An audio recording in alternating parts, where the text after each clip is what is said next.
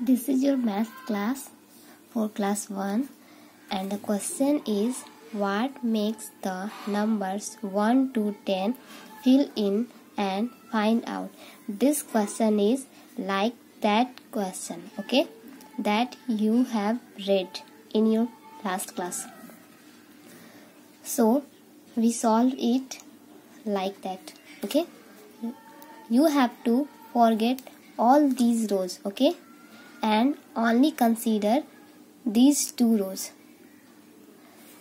Now there is symbol of add so start to add one by one to zero okay? So start. When you add 0 and 1 you get 1 when you add 0 and 2 you get 2 3 4 5 6 7 8 9 10 now consider this row and this row.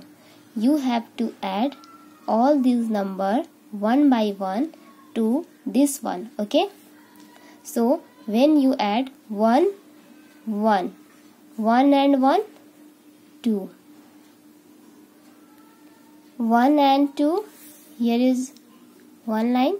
And draw two more lines. 1 2 1 2 3 so fill here 3